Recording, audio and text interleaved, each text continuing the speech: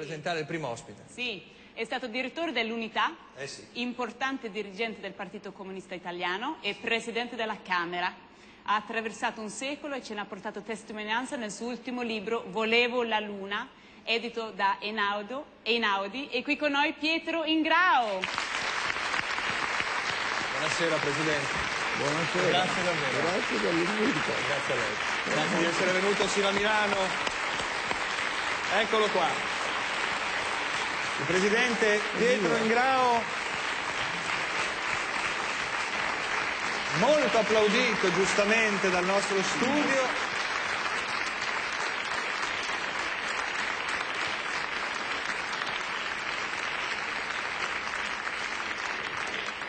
È uscita da pochissimo infatti questa autobiografia, Volevo la Luna, edizione Einaudi per l'appunto, di cui proviamo ad accennare, scusandomi sin d'ora appunto per la, la inevitabile superficialità che il tempo televisivo eh, costringe, eh, e- ma che- a cui davvero vi rimando perché è un, è un- insomma, è un- è un viaggio straordinario quello che si può compiere leggendo questa storia, che è una storia di passione, di uomini, di incontri e che è la storia del Presidente Ingrao, ma che è la storia del nostro paese. Intanto è venuto in treno, vero?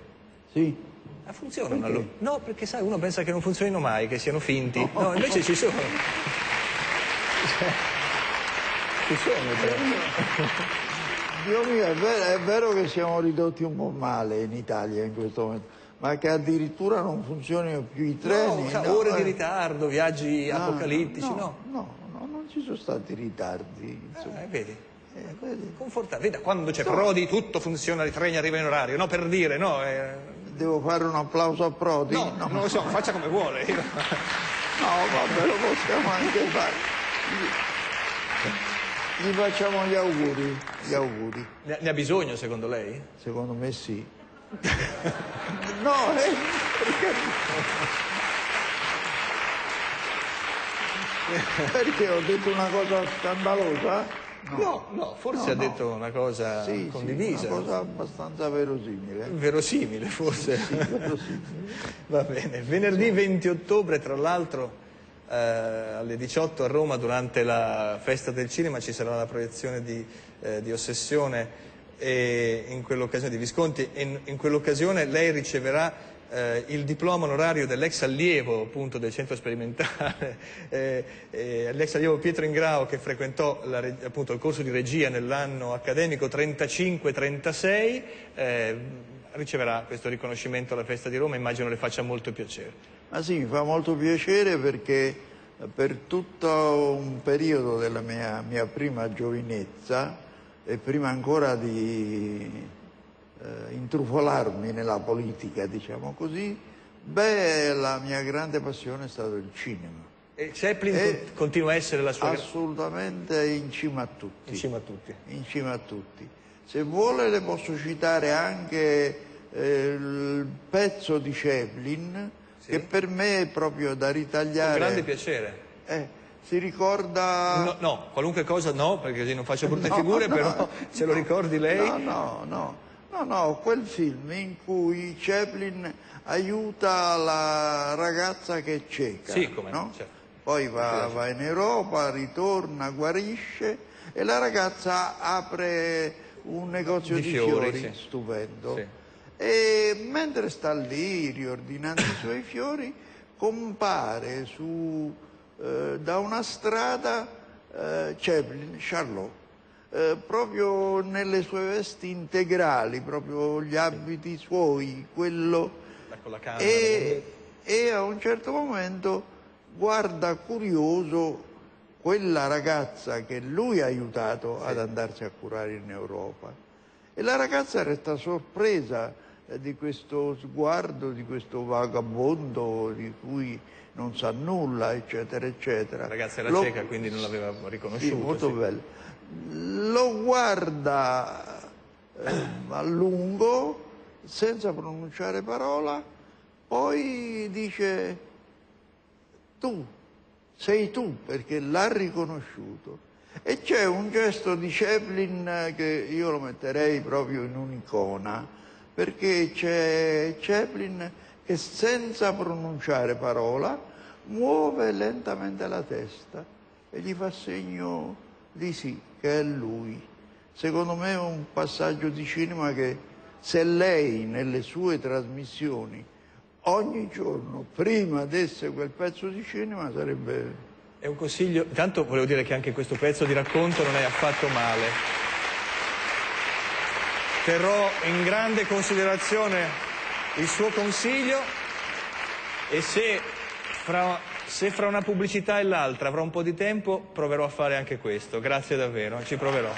Guardi, guardi che lei ha fatto una promessa solenne No, eh, se- se- se- di sì, trovare uno spazio per far vedere, se non se lo ricorda, mi telefona a me e io le faccio vedere il pezzo.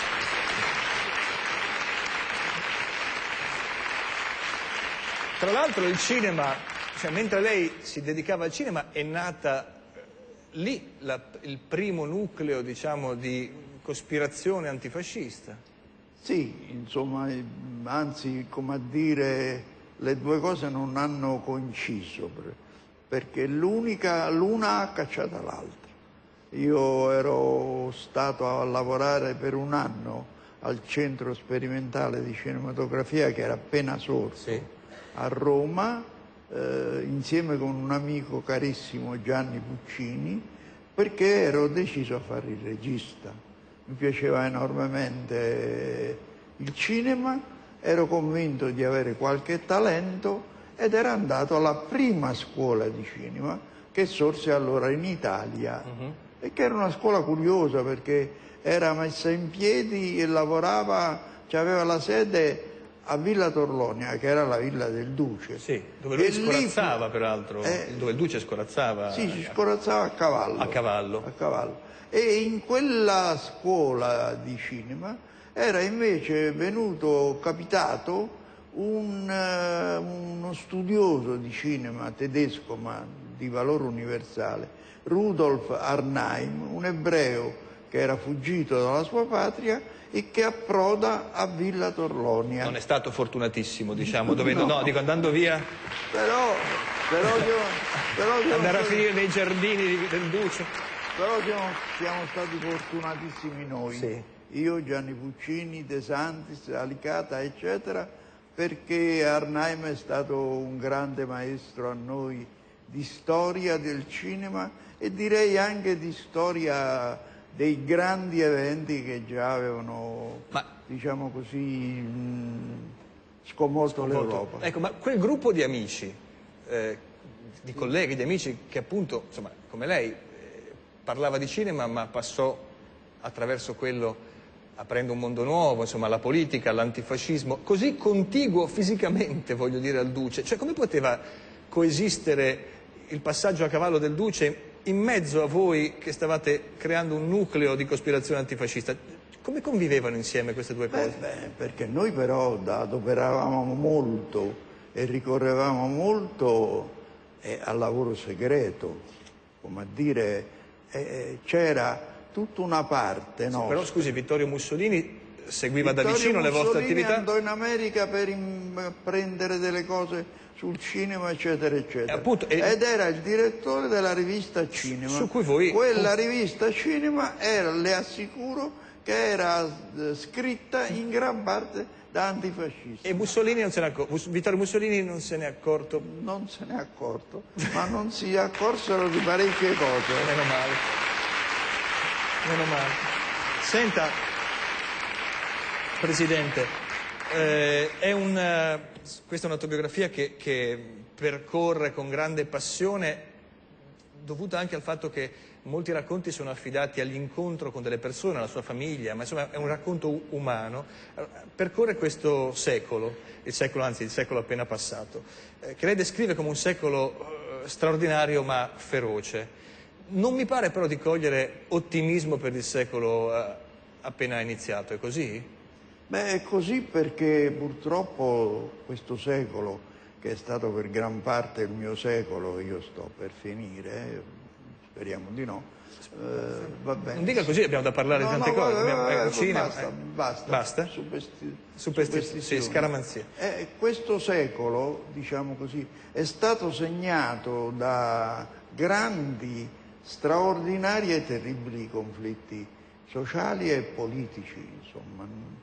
Io frequentavo il centro sperimentale di cinematografia, ho fatto per un anno studiato Sì. lì e volevo fare il regista eh, con l'aiuto di Barbaro che era un critico di grande valore, eh, con un, un regista che era venuto niente meno che dall'URSS, si chiamava Sciaro, volevo imparare a fare, anzi fare scuola di film.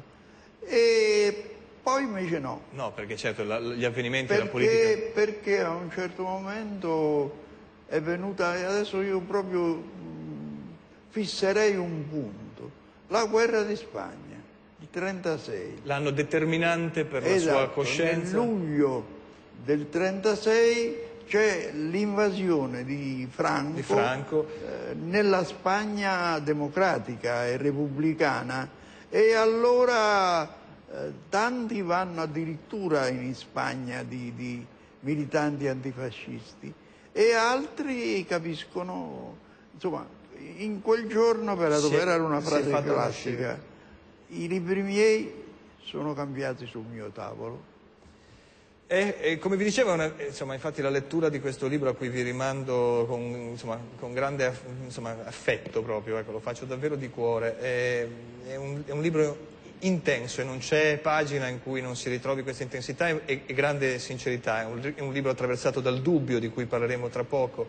Eh, volevo chiederle una cosa, a pagina 20 lei parla della sua giovinezza, si trova a Santa Maria e c'è una sonnambula bendata, a proposito di Chaplin e della cecità, una sonnambula bendata che predice il futuro.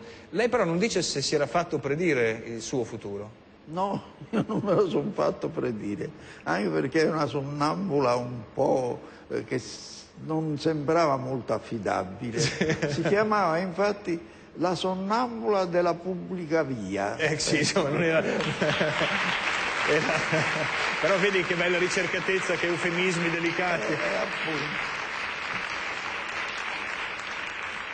Ehm, ovviamente la passione politica, la sua militanza nel Partito Comunista, eh, la, la fede, eh, addirittura eh, L'impegno e la fede, certo, e i vari cambiamenti che si sono susseguiti. Grandi incontri con i più grandi uomini eh, del nostro secolo. Mi ha incuriosito fra le tante cose, lei incontra in una dacia eh, russa eh, Mao e dice che a un certo punto Mao, gentile, saluta tutti i presenti prima di cominciare una relazione molto poco gentile invece subito dopo e sussurra qualcosa che lei definisce gentile all'orecchio dei presenti. Ma se- se- che cosa, siccome parlava in cinese immagino, che cosa eh, gli ha detto? Eh, vabbè, lei che, che cosa che sape- vuole che io sapessi il cinese? Non lo so, ma lei no. dice, Eh, lei dice ci, ha- intanto- ci ha detto qualcosa di gentile, io ho detto chissà No, che... vabbè, Per Ho prudenza. capito, Ah, ho capito, insomma, lei pure quando vede la- una faccia di uno degli spettatori che ha un'aria ingrugnata capisce che sta sbagliando trasmissione, no? Sì, quello sì. Però v- vede, io per esempio qui... E lì invece si capiva che C'era anche, Mao- anche Kim Il-sung, tra l'altro, in quella riunione. Kim Il-sung, non ci giuro però, L'ho ma incontrato. io l'ho incontrato Kim Il-sung. Ecco, ma quando è un incontro fra lei e Kim Il-sung, cioè che cosa, lei si sarà chiesto che cosa abbiamo in comune io e questo signore?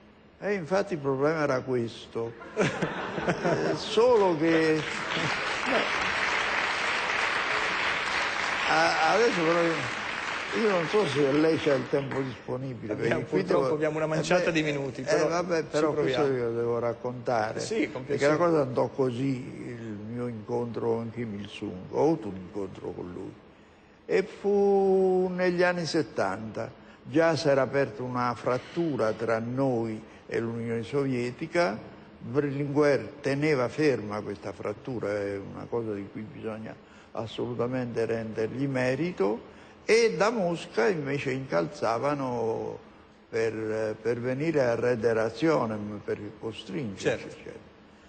Io sono stato chiamato da Berlinguer eh, allora eh, e Enrico mi ha detto queste cose. Guarda, Eh, I sovietici insistono perché io vada a Mosca eh, perché vogliono avere questo dialogo chiarificatore. Pensi che noi ci eravamo schierati contro l'invasione dell'Ungheria, era cominciata tutta una rottura. Eh, se ci vado io, qualsiasi cosa io dico, furono queste le parole esatte, eh, certamente la stampa italiana dirà che io mi sono acquietato, assoggettato ai, ai russi. Per te non lo possono dire e la ragione per cui non lo potevano dire, forse la potete immaginare, non ero così. Allora vai tu e, e sbriga tu in modo che saltiamo questo scavo. Io ho obbedito fedelmente, sono andato a Mosca, sono stato bravo perché ho avuto degli incontri con Ponomariov, che era uno dei capi di questa equipe che internazionale che seguiva le vicende di tutti i partiti comunisti del mondo, persona detestabile a dire la verità. Non lo dicevo allora ma lo dico adesso, già allora lo detestavo. Però io fui bravo e mh, riuscii a liquidare la partita in poco tempo con un comunicato che non diceva niente, quindi missione assolta. Poi però c'è la coda, perché una delle ragioni con cui avevamo costruito questo viaggio, perché fosse costruito bene, stava nel fatto che io dopo Mosca sarei andato eh, nella Corea del Nord. Sì, appunto da Kim Il-sung. Il-sung. E allora lì ho vissuto delle cose incredibili, insomma, non raccontabili. Prima di tutto eh, sono raccontato... andato in aereo, sì? in aereo da Mosca a, a, lì alla Corea del Nord, e quello se lo sapessi raccontare, perché ho, fa, ho avuto un passaggio dalla notte all'alba, una cosa inaudita, straordinaria, incredibile. Insomma, poi sono andato lì alla capitale della Corea, e dove sono stato giorni e giorni completamente in ozio, in una villa, mangiando benissimo, però non parlando con nessuno. Però tornando uno non ne può parlare male. Ecco. Uno dice, beh, solo come prima, si sta in Corea? Bene. Solo prima di partire c'è stato un incontro con il grande capo, che era poi il meglio de, degli altri. L'Etoile polaire de l'humanité. Eh, sì. E io sono ritornato da questa. Allora ho conosciuto eh, la Corea del Nord, poi dopo sono stato in Vietnam, l'Asia era entrata nella lotta. Presidente, io eh, volevo fare ancora una domanda se posso. Eh, che cosa vuol dire oggi essere comunista? Ha ancora un senso questa parola per lei se non altro? Eh, penso, io, per me sì, assolutamente. Che cosa significa? Lei, perché lei era sicuro, pensava che io non fossi più comunista. No, glielo chiedo perché sono certo che lei lo sia. Sono certo che lei lo sia. Già, ma ero, ma ero così in allarme. No, no, io sono no, sa, Siccome qui non si trova nessuno più, allora eh, chiederlo a uno che è certo di essere comunista è l'unico che può rispondere per sapere che cosa significa. Lo giuro. Sì. Lo giuro, sono ancora e tuttora comunista, anche se riconosco, e questo si legge anche sì. nel libro, e il libro spiega anche questo, che ne siamo passati attraverso... Mille travagli. No, più dei travagli, una durissima sconfitta. C'è poco da fare, non solo è crollata l'URSS, ma è entrato in crisi anche il Partito Comunista Italiano e, e anche i tentativi disperati di alcuni di noi sono falliti. Quindi è stato un grande evento non solo lo stalinismo, io dico il leninismo, la grande invenzione di Lenin, però dopo è venuta la sconfitta e questo libro vuole essere anche un po' una domanda, un dubbio sul perché della sconfitta. Sì. Eh, professor Omsel, in chiusura, l'ultimissima domanda, abbiamo dieci secondi. Eh, sì, nel suo Proprio libro... Perché lei parlava prima di tutti i dubbi Di tutti i dubbi, di tutti i ripensamenti che, che emergono dal libro. suo libro eh, tanto spirito critico, ma in che cosa lei invece è convinto? Del comunismo? Ecco, sono convinto di, di un punto molto netto, che c'è una condizione di oppressione del mondo proletario dei lavoratori proletari. E c'è una classe, che è la classe dei padroni, che tiene sotto le sue scarpe questo grande mondo proletario che è parte fondamentale della vita italiana, ma che poi ha una grande storia anche in Italia, perché Quando... qui, qui, andiamo a, alle battaglie eh, combattute anche qui a Milano, ma poi in tutto il nord già alla fine del secolo passato. Quando si dice non adoperare un giro di parole. Grazie Presidente Ingrano. Volevo la luna per sapere se questa luna è stata raggiunta, leggete Pietro Ingrao, volevo la luna è in Audi. Davvero grazie Presidente. Posso dire grazie. una cosa sola ancora?